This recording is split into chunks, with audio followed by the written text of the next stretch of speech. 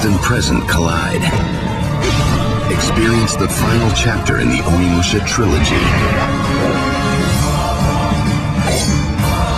Two heroes, one destiny. Onimusha 3, Demon Siege. Rated M for mature. Only from Capcom.